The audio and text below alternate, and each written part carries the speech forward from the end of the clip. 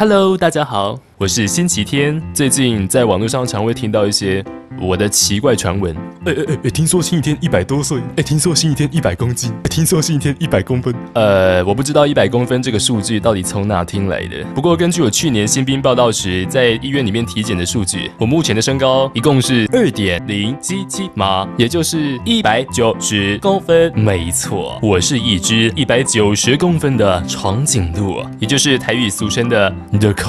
乐咖。哎，说到这个，很久没有见面的亲戚朋友在聚会时看到我，总会用相同的起手式。开启对话，不外乎就是哇，上面的空气新鲜吗？你会灌篮哦？哇，吃什么长那么高的？这些问题我听过了无数次，回应的答案也是千篇一律，我都觉得我快要变 Google 翻译机了。上面的空气不新鲜，而且也不会灌人，哈哈。不过有时候回得很腻，我也会瞎掰一下。哎呀，大舅舅，这你就问对人了。我从小学开始把握生长激素分泌的黄金时机，每天早上喝一碗黄连汤，晚上吃一把龙胆草，吃了以后发育就灵光了很多，每次考试都考一百分呢。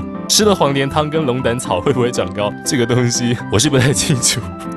但是根据吃的苦中苦，方为人上人的道理，就算不能如愿长高，也可以成为一个人上人喽。不过长得高真的是一件好事情吗？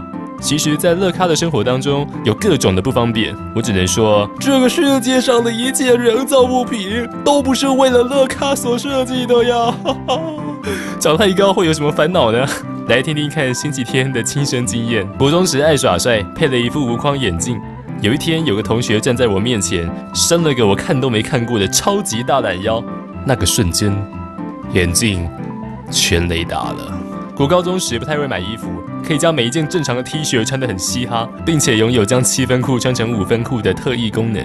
还记得那年夏天，我在夜市买了一件酷炫有型的喇叭裤。当下我心想，嗯，酷炫有型，直接带回家。回家迫不及待穿上，结果乐极生悲，喇叭不够长啊！耍帅失败，耍憨倒是很成功啊！在人群中很容易成为视线焦点。逛夜市的时候还要防范被招牌、旗子或是各种悬挂物突袭。神奇的是，如果迷路了，只要在原地不动，就会被找到了。小便斗和我身高之间产生的代沟，是我心中永远的忧愁。因为每次尿尿的时候都要蹲蹲，鸡鸡才不会卡到豆豆的头头。搭公车的时候天花板太低了，只好全程鞠躬，而且座椅的间距都很小，这个距离拿来放我的腿也只是刚刚好而已。重点来了，当我瞧了半天，终于好好把自己镶在座位上的时候，前面的椅子就开始缓缓的往后躺，每次我都好想大声叫出来。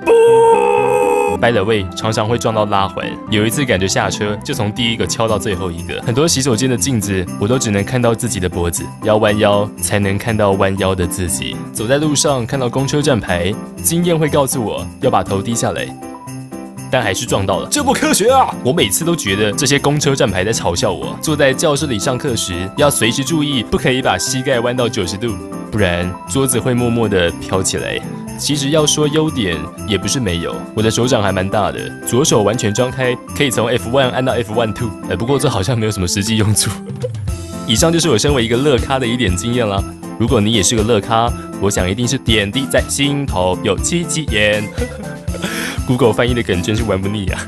话说星期天配音是对的，粉丝专业不知不觉在这个月突破五万人了，我的天呐！Well，感谢大家一路支持鼓励。今年大部分时间都在部队中度过，最近又因为高装检的关系，整个忙到翻过来，实在是好想念大家啊。不过好消息是，星期天的退伍令下载进度已经进入倒数一百天喽，未来的旅程也请大家多多指教。